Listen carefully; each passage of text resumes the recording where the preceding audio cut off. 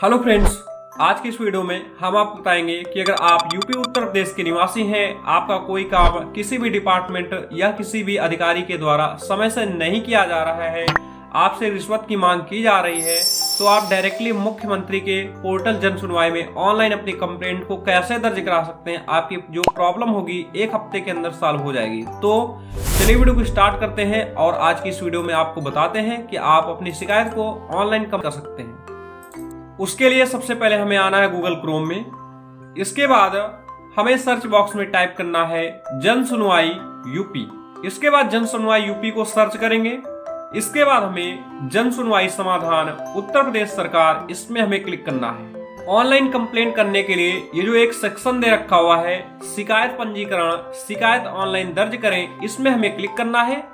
इसके बाद ऑनलाइन आवेदकों के लिए कुछ वेबसाइट की नीतियाँ हैं, इनको आपको फॉलो करना होगा, कुछ पॉइंट्स हैं, इनको आपको मानना पड़ेगा। फ़र्स्ट ये है, ऐसे बिंदु, विषय बिंदुओं की सूची जिनको जन शिकायत नहीं माना जाएगा, इसके पाँच पॉइंट है। फ़र्स्ट है, सूचना के अधिकार से संबंधित मामले। सेकंड न्यायालय में विचाराधीन प्रकरण। थर्ड में है, आप जैसे सजेशन दे रहे हैं, सुझाव ये नहीं माना जाएगा शिकायत। चौथे में आर्थिक सहायता नौकरी दिए जाने की मांग। इसके बाद जो पांचवा पॉइंट है, सरकारी सेवकों के सेवा संबंधी प्रकरण जैसे स्थानांतरण सहित, जब तक कि उन्होंने विभाग में उपलब्ध विकल्पों का उपयोग न कर लिया हो। इसके बाद आपको बॉक्स में टिक करना है, इसके बाद सबमिट करें में क्लिक करना है। इसके बाद आपको अपना मोबाइल नंबर डालना होगा ऑनलाइन शिकायत को रजिस्टर्ड करने के लिए। इसके बाद आपको कैप्चा कोड डालना है ओटीपी भेजें, इसमें क्लिक करना होगा। इसके बाद जो आपने मोबाइल नंबर डाला, उसमें पाँच अंकों की ओटीपी गई है। सबमिट करें में क्लिक करेंगे ओटीपी डालने के बाद। इसके बाद अगर आपकी शिकायत सामूहिक है तो बॉक्स में टिक करेंगे। इसके बाद उनके नाम लिख देने जो शिकायत कर रहे हैं कॉमा लगा लगा के। इसके बाद पिता या पति का नाम, इसके बाद जेंडर सिलेक्ट करने हैं मेल फीमेल या ट्रांसजेंडर इसके बाद आपको सेकंड मोबाइल नंबर डालना है। इसके बाद आपको ईमेल आईडी डालनी है, अगर है तो। इसके बाद एक चीज़ का ध्यान रखना, जिस भी फ़ील्ड में स्टार लगे हैं, उनको भरना कंपलसरी है, बाकी को ब्लैंक छोड़ सकते हैं। इसके बाद संदर्भ के विवरण में आपको संदर्भ का प्रकार जो है, शिकायत को सिलेक्ट करना है। इसके बाद किस डिपार्टमेंट की शिकायत करना चाहते हैं, ऊर्जा विभाग, खाद्य एवं रसद विभाग या फिर ग्राम्य विकास विभाग, जो भी डिपार्टमेंट हो, इसके बाद संदर्भ श्रेणी को आपको सिलेक्ट कर लेना है। जैसे लोहिया ग्रामीण निर्माण संबंधी या टेंडर में अनियमितता या भ्रष्टाचार के मामले में या फिर अन्य। इसके बाद आवेदन पत्र का विस्तृत विवरण आपको विस्तार से लिख देना है कि किस चीज़ में आपको प्रॉब्लम आ रही है।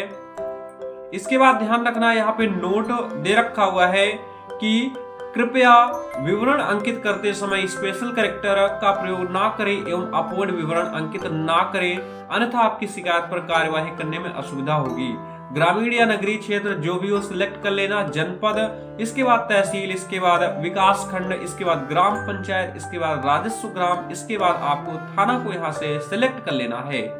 इसके बाद अगर ऊपर वाला एड्रेस आपका आवासीय पते से सेम है तो बॉक्स में टिक करना है। अगर आवासीय पता दूसरा है तो आपको यहाँ पे आवासीय पता फिल कर देना है।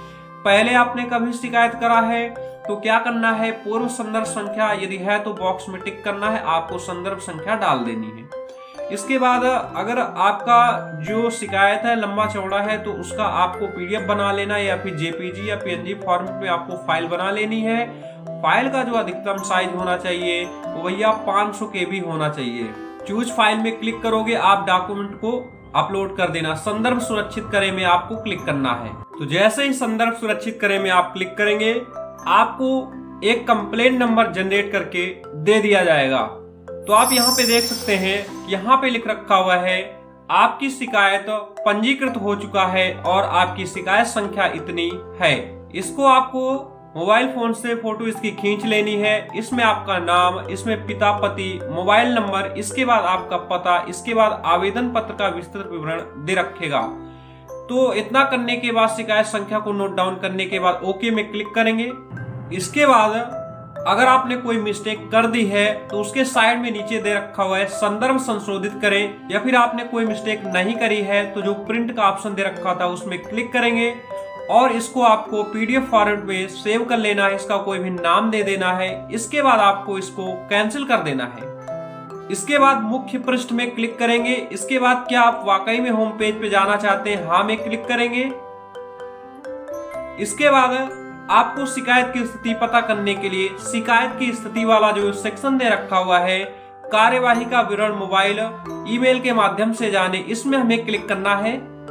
इसके बाद आपको कंप्लेन नंबर, शिकायत संख्या और आपको अपना मोबाइल नंबर या फिर ईमेल आईडी दो में से एक डालना है, कैप्चा कोड डालना है, इसके बाद सबमिट करें में क्लिक करेंगे।